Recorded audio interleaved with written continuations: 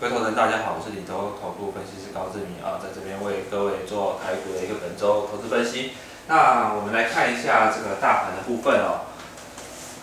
今天哦，在整个外资期现货大举翻多的带动之下呢，今天呃台股算是一呃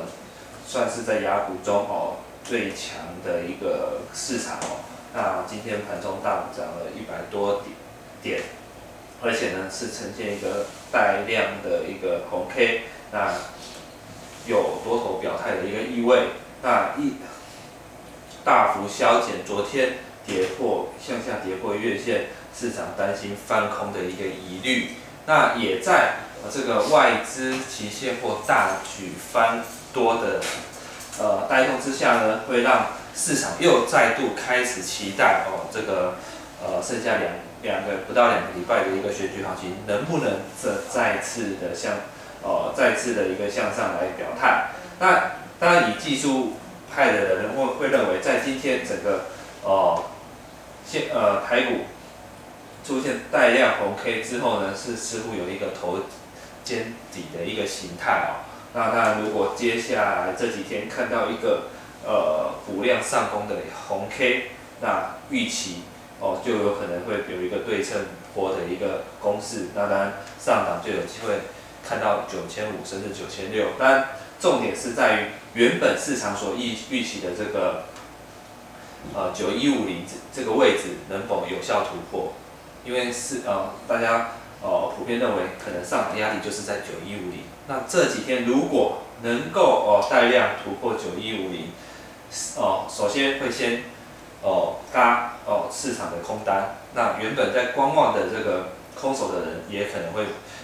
也也可能会出现一个回补买盘，所以当九一五零哦有效突破之后，可能会同时发生嘎空跟嘎空手的情况，那那到时候哦这个上攻台股的上攻力道就会更加的强劲哦，所以近期可以持续观察，哦这个九一五零能否有效突破，那。就今天的结构来讲的话，是哦，呃，呃，以呃台积电为首的这个电电子全全指股哦，搭配政府做多的一个金融股所带动的哦，那可看出来，除了外资积极做做多之外呢，可能这个呃一只另外一只看看不见的手的。一直也是有在进进伸手进场顺势护盘的一个情况，所以在呃政府以及外资目前都是做多来讲的话，看起来这个结构是呃相对于呃对于台股是相对有利的，所以目前来讲的话，不用太过哦操作上不用太过偏多，但是就贵买指数来讲的话，可能就有点不同了。今天因为整个都是基本上都是大大型全职股哦的表呃主都是呃资金全几乎全部都被然后大型全职股呃吸走了，所以哦加权指数是呈现价能量增，但是我们来看贵呃贵买市场哦，它今天是呈现一个量缩的一个情况，量缩的一个情况，而且反弹力道是非常的弱，相较刚刚哦加权指数的一个大红 K，今天只有。汇买指数只是一个小小的红 K，而且今天并没有站回月线，这是还仍然是是是处于一个偏空的格局。尤其如果看均线来讲的话，是有点哦转向一个空头排列的一个迹象。所以就汇买市场来讲的话，仍然是持续偏空的。那也会导致哦这个在哦汇买市场挂牌的中小型股，接下来可能还会。呃，有一些向下回撤的可能性，尤其目前技术面转空，第三季财报不佳的个股，有可能还是市场空方的一个主主要的一个聚集标的哦。那在这样，在未来如果汇买指数不能够迅速站回月线前哦，那可能盘盘面上会发生就是大盘是往上走的。但是你手上的中小型股却是往下走的一个情况，就是有可能会成出现赚指数赔差价的情情形哦。所以在这个预期之下呢，呃，可能建议投资人在哦会会买指数没有站回月线之前，不要轻易去加码中小型股，即便大盘有持续上空，也不要轻易的去加码中小型股，期待会有一波反弹的力行情。而且如果贵买指数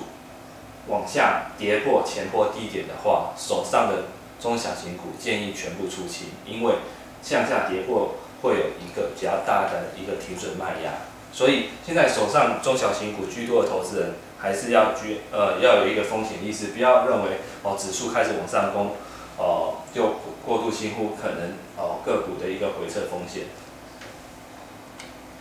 那我呃上周其实有提到，在这一周呃沪港通上路之后，其实对于台股的一个持续效应就会开始减弱，因为我们可以看到周一哦上呃沪港通开通之后，上证指数开始出现一个开开高走低，呃而且周二、周三是连续性的一个拉回。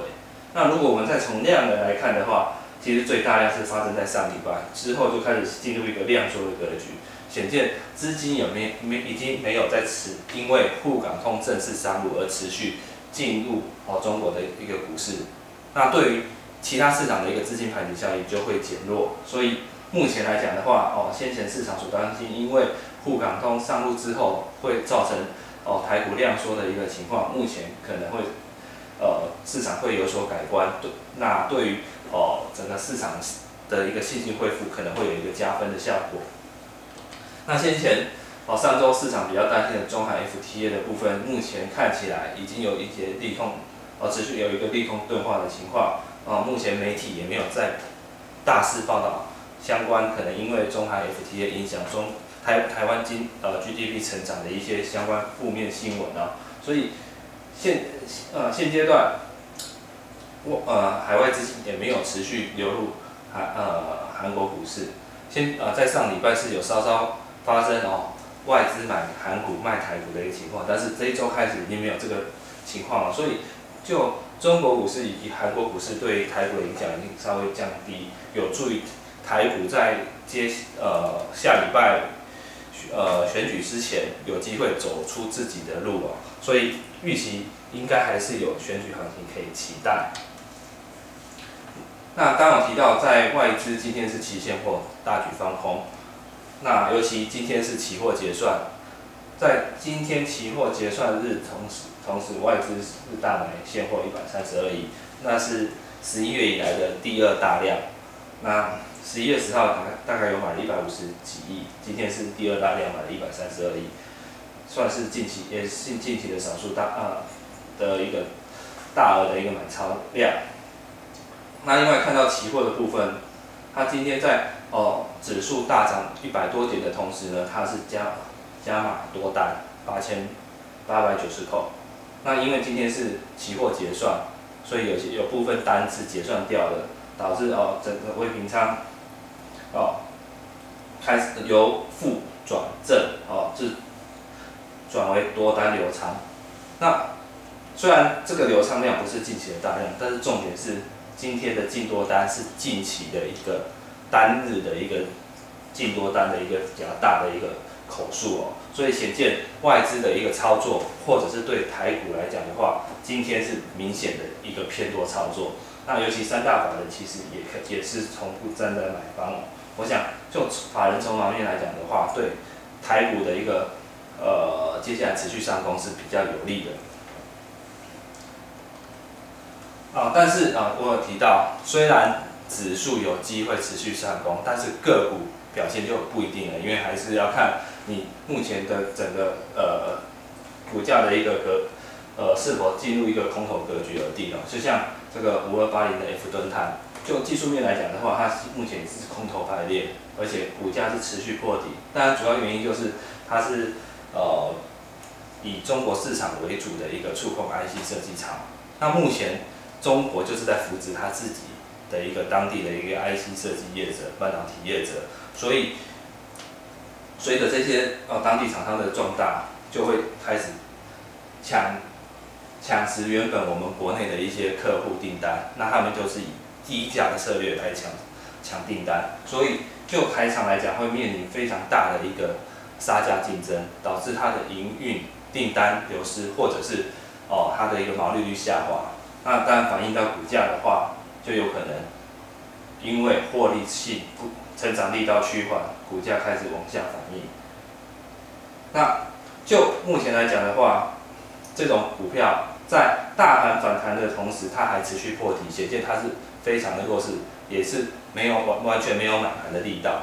那这种股票当是哦盘是再度翻空的话，它的一个跌势会非常的大，因为只有买卖方没有买方。那建议这种个股就不要轻易做一个抢短的动作，尤其它营运是走向呃营运明显是由盛转衰的一个族群啊，建议是要避开。那另外二四五八的易龙电也属于啊中国营收占比蛮高的一个 IC 设计厂，同样今天也是在大盘大涨一百多点的同时向下带量破底，显见这个族群哦哦目前哦。筹码是持续在做一个出出脱的动作，不要认为哦，它股价来到相对低点要做一个进场承接，建议还是都都要避开这些族群。好，另外要避开的则是哦，因为财第三季财报刚公布完毕，有些财报数字有些呃有有有问题的公司，可能在现阶段股价也会向下反应。像这个呃八四零六的 F 金克哦，它就是因为它第三季的一个应收账款。占呃占它营营收接近有四成，再加上整个应收账款的周转率来到零点三个，算是这个产业非常低的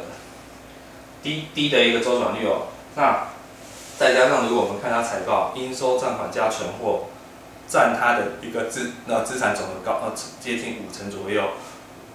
都显见哦，其实它的应收呃这个公司的一个营运其实。好，似乎有点出出现问题，尤其应收账款那么高，那如果遇到未来应收账款收不回来，列要转列呆账的话，可能会侵蚀到它的一个未来的一个获利表现。那以它目前账面上的一个应收账款，通通假设通通列入呆账的话，可能会造成它 EPS 会出现哦超过它目前股本三到四倍的一个。损失哦，这一点是不是哦要留意的？再加上如果我们从产业面来看的话，其实隐形眼镜厂面临非常多的一个竞竞争挑战，像大力光、华硕、景硕，他们的子公司都有切入呃隐形眼镜的市场，而且呃销目前销售数字都不错。那随着竞争者变多，你看就会开始面临价格战，当然会影响你的不管是。你的订呃订单量，也或者是你的毛利率表现，那这个问题其实跟刚刚这个 F 盾泰遇到的问题是一样的，所以我们可以发现，他们两两个股价的线型都是呈开始出现空头排列，而且是持续向下破底，再加上 F 金可的一个财报是让市场有有一些疑虑的，所以这种股票建议也是要先优先避开。那当然，如果 F 金可如呃持续向下破底，但会让市场开始。去寻找可能跟 F 金可一样财报第三季财报或者是应收账款过高的公司，可能都会出现一个连锁反应。尤其 F 金可是被先先前的一个外资图音狙击过的个股，会不会再狙击第二次？这点也是要投资人哦持续追踪的。那如果手上有这种哦以 F 开头，就是中中国营收比重比较高的公司，那应收账款又高的话。建议还是也要先做做一个出脱持股的动作，以免接下来会有一个连锁反应的一个负面效果。那就，呃，接下来有机会随着大盘上攻的，我认为就是主要还是全指股。那全指股中，哦，可以留意二三一七的红海。我们可以发现，其实它最近股价是，哦，呃，算是被压抑哦。那跟它的一个营运表现是有点落差的，尤其其实它第三季财报是算非常不错，而且第第四季有机会开再度创下历史新高，而且十一月、十二月营收有机会持续续创新高。就营运的结构面来看的话，股价应该是有机会上攻。那为什么会被压抑？主要是因为哦，它是台湾五十的一个重要成分股。那因为哦。最近加权指数有受到压抑，连带它股价也跟着受到压抑，再加上哦市场过度解读合硕去抢食红海订单的一个一个消息，导致哦合硕涨，红海被压抑的一个情况。但是就整个哦国内组装能力来讲的话，红海还是属于一个领导的一个地位哦。而且如果对比和和硕，它的第四季营营收高峰其实落在十月来看的话，接下来营运成长动能比较大的会是红海。那当然，如果股价是反映营运动能来讲的话，接下来红海股价应该是有机会来随着大盘走呃翻多而持续向上走高。尤其如果你去观察外资来讲的话，其实外资的筹码最近也有开始慢慢的回笼，那当然有机会成为它推升股价向上的一个重要力道。那另外可以留意的则是这个三四九八的阳城，它是做这个自动化设备的一个供应商，那它目前是主要是供应红海生产 iPhone 及 iPad，呃流水线自动化的一个设系统呃设备的一个供应商。那以目前呃它九呃十月已经开始出货 i iPhone 的一个自动化相关设备，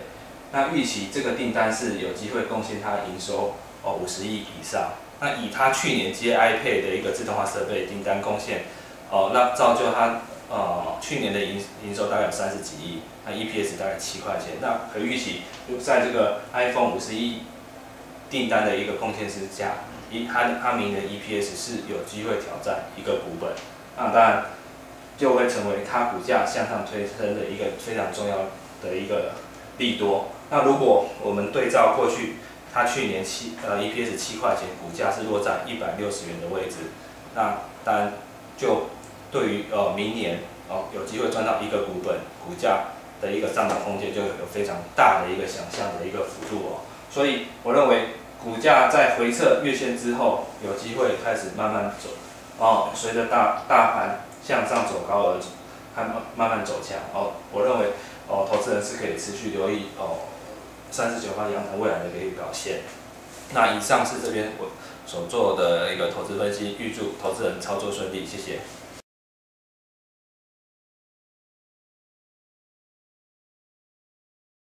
本公司与所推荐分析之个别有价证券无不当之财务利益关系。本节目资料仅供参考，投资人应独立判断、审慎评估并自负投资风险。